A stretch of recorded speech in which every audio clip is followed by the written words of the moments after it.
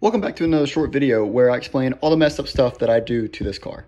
So if you'll notice back there, I have some 15 by 10 drag wheels um, and I was attempting to fit them on this car last week whenever I ran into a little bit of a clearance issue. So on these cars, the banjo bolt actually hits the wheel with using 15 inch wheels on the back of these due to them having oversized calipers on the rear. So um, the fix to this, and you can look in forums and everything, is to grind down the head of the banjo bolt. Well, I accidentally went too far and actually went into the copper washer and it started spewing brake fluid everywhere. Like, as you can see, it's all over the ground. So I'm working on getting that fixed and that's the issue that we have right now. So be sure to subscribe, guys. I promise you the drag racing videos are coming soon, but we have to fix this first.